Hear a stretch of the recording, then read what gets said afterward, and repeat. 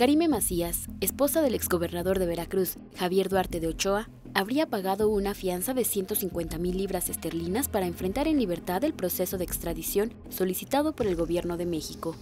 Luego de seis horas de audiencia, Macías Tubilla pagó dicha cantidad, que equivale aproximadamente a 3.690.945 pesos mexicanos.